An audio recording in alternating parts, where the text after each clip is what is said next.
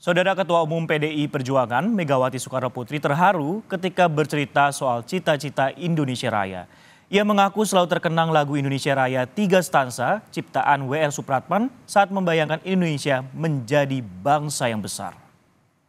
Saya selalu memang menangkap ibu itu selalu bergetar ketika menyebut Indonesia Raya dan membayangkan atau mengimajinasikan sebuah apa kondisi Indonesia Raya yang semoga sesuai dengan harapan para founding fathers. Eh, situ udah pernah denger nggak? Itu aku cari-cari. Akhirnya dapat. Karena aku denger dulu yang di apa?